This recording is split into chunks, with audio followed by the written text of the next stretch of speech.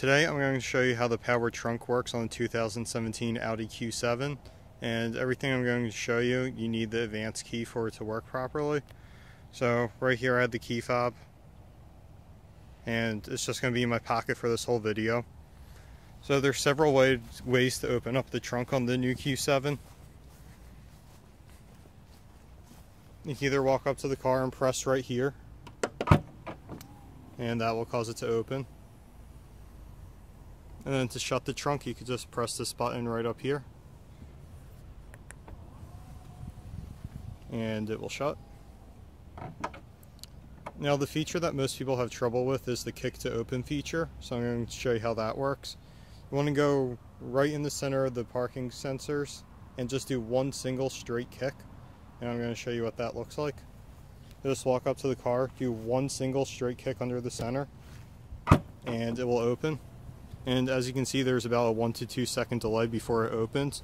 And many people confuse this delay with thinking it didn't work and they'll try and kick again.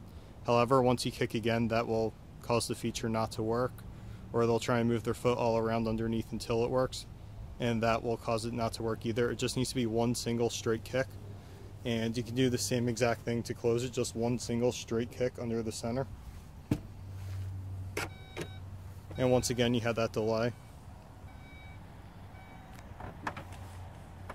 And then another way to open it is if you use the key fob, just press the trunk button and hold it until it opens, then you can release.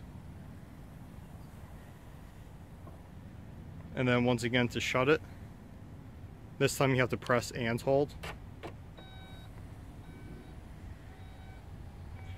Until it completely shuts. And everything that I just showed you, that only works when the ignition is off. So now I'm going to show you a few ways to operate it with the ignition on. So coming around to the inside of the vehicle, with the ignition off, this switch here also works. Just flip it and the trunk will open.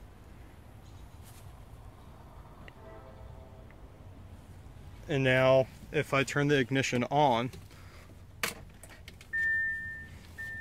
The key fob is now deactivated once the ignition is on, so that means all the proximity features such as kicking underneath it to open and close it will cause it not to work.